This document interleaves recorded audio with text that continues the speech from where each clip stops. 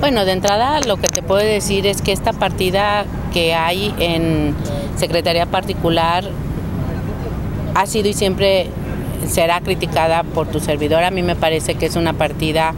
este, que se maneja con muy poca claridad, en donde, eh, en donde se hace uso de recurso público con una total ausencia de reglas y por lo tanto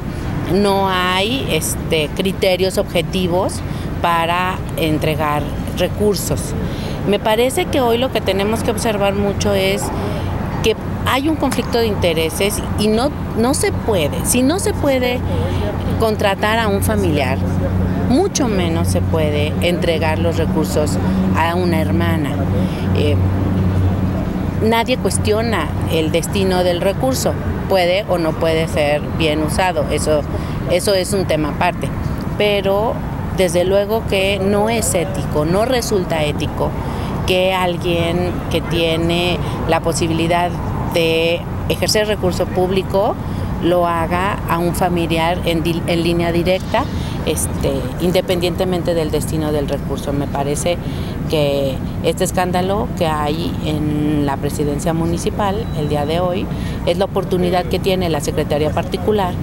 y el alcalde Héctor López Santillana para ponerle reglas a esta partida que es discrecional, a esta partida que es eh, opaca, a esta partida que al no tener reglas resulta muy fácil resbalarse y equivocarse, como en esta ocasión en donde se equivocaron cuando el alcalde le entrega a su hermana a través de esta partida esta cantidad, independientemente del destino. ¿Y se puede revisar a través de un órgano de, control como la auditoría o la Contraloría Interna este tipo de... Pues a eso me refiero yo cuando se tienen que poner reglas, o sea, después de, esta, de este hecho que hemos conocido a través de ustedes,